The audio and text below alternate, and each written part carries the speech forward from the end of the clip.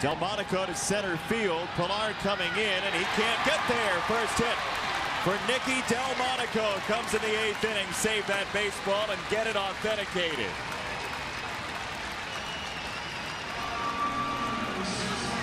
Gets a nice round of applause Well, from his family. You would expect that. But from the rest of the fans, they feel the same thing.